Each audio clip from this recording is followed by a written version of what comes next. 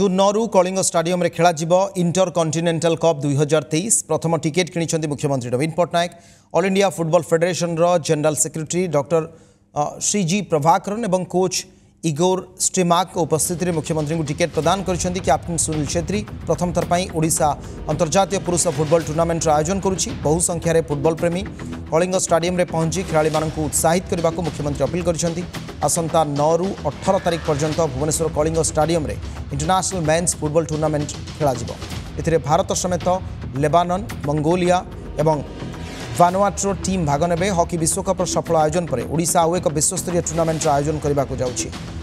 captain Sunil ছেত্রীঙ্ নেতৃত্বে ভারতীয় ফুটবল টিম ভুবনেশ্বরের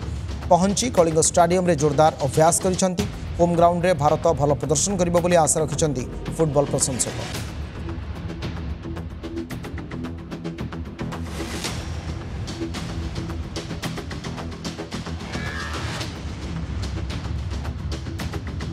अलका ब्रीफ करदे जून नौ कलिंग स्टाडियम खेल इंटर कंटिनेंटल कप दुई हजार तेईस प्रथम टिकेट कि मुख्यमंत्री Naveen Patnaik all India football federation general secretary doctor Shaji Prabhakaran और कोच इगोरो स्टिमांग उपस्थित मुख्यमंत्री को टिकेट प्रदान करप्टेन कैप्टेन सुनील छेत्री प्रथम थरपाई ओडा अंतर्जातीय पुरुष फुटबल टूर्णमेंटर आयोजन करुच्ची